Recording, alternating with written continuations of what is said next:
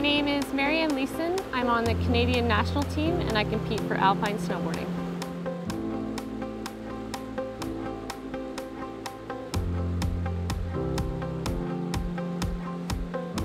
My quest and my goals are to ultimately get to the Olympics and I would absolutely love to podium and to be there with my friends and family and coaches.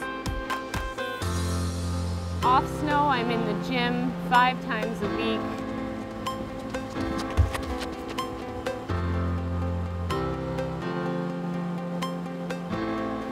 We do a, a, conditioning workout, a power workout, a strength workout, but we also do our warm-up and our recovery. Honestly, it's, it's amazing. I feel like I'm in the best shape I've ever been in. And I feel like I'm going into the season with great strength.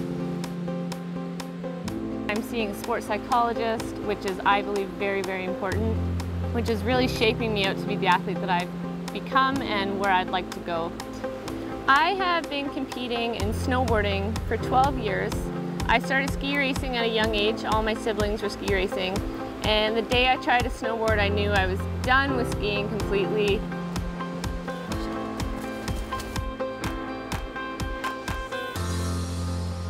I've had some ups and I've had some downs and last year possibly was my best season I've ever had. I had five top 20s at the World Cup one being a top 16 in the finals with a 15th place finish.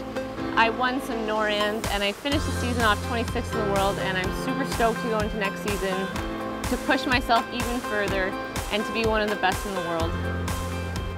Off snow, I just, I really like to be outdoors, camping, hiking. I love playing soccer.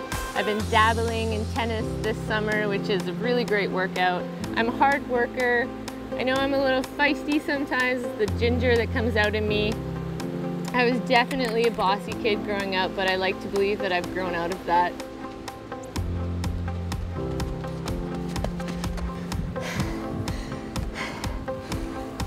You know, this is an individual sport, but it really takes a team to build a champion, and I wouldn't be where I am at all today without all the coaches, all the staff, the team and especially my parents as well, you know, they support me emotionally and financially. They're going to feel like they've achieved it with me and I can't wait for that feeling. I don't think there'll be anything better.